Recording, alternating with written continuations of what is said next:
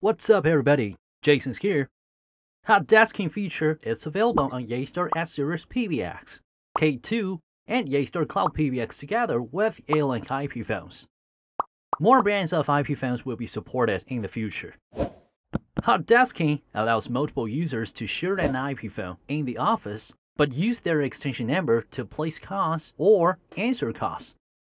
It's helpful for users with flexible schedules or working in multiple locations. At the same time, the company can reduce investment in phone facilities. Anyway, let's move on to the configuration guide and see how do we make this feature work for you. In this video, we'll take this PBX and this phone model as an example.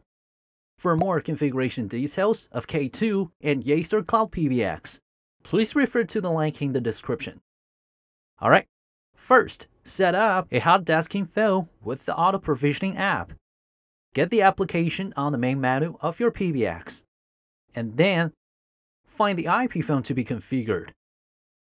Click on Edit, enable the hot desking phone.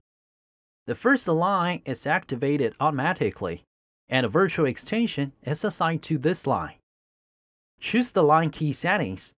At the same time, two line keys are configured as speed dial keys one for guest to log in and the other for guest to log out. The user can easily log in and log out by pressing a key of the phone. Click on Save and reboot the phone to make configuration works. Next, enable hot desking for an extension user. Go to the extension setting page. Say we choose the extension 1000, click on Edit. Choose Features down here. Check to enable hot desking. That's it. As you can see, we have more custom settings for log out. For guest log out, we can set duration or a specific time in case the user forgets to log out. As for log out of queue, it will be quite functional if the user is seeing the queue as a dynamic agent. Check this option, he or she will also log out of the queue when enabling guest log out. No need to perform log out action twice. Save and apply the settings. Now, let's turn to the IP phone and see the effects.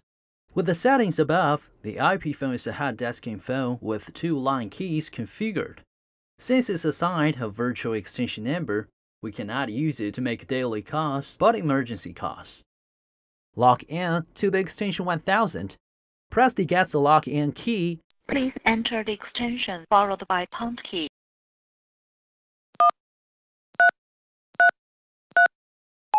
Please enter your password followed by the pound key. Use the PIN code for the voicemail.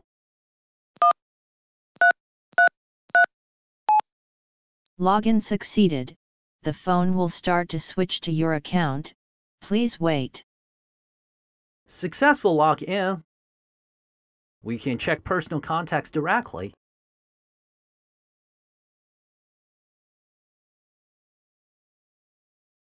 Make a call.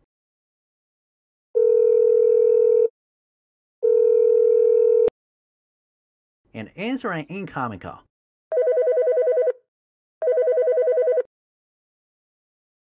When we're going to leave, press the other key to log out manually. Logout succeeded. If we have enabled automatic log out, the phone will log out of the account by itself at the same time and turn back to a hot desking phone for the next user's login. Alright, that was all we have for today's video. Hope you guys enjoyed this, and don't forget to subscribe if you're not already. Get more details, check our document center. I'll see you guys in the next one.